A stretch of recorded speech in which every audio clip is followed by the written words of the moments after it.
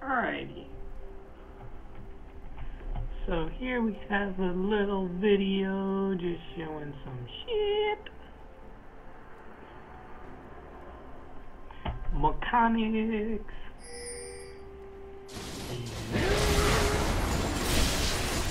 This is a separate uh, Graves game. Pretty little bit somewhere. I think I'm level 9 or 8 or some shit now. Mm, I don't remember what level everybody else is. I just gotta show a little bit of the mechanics.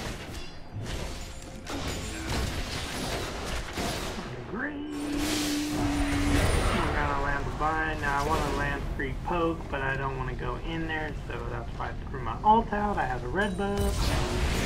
So right here, I'm positioning like we can fight this because there's 4v4 and they are both low.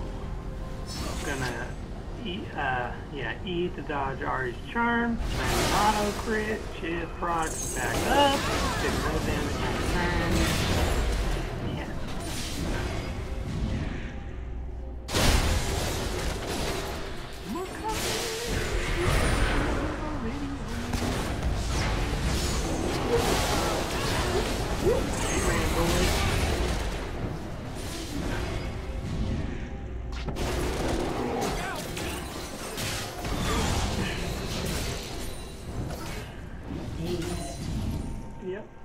That's it.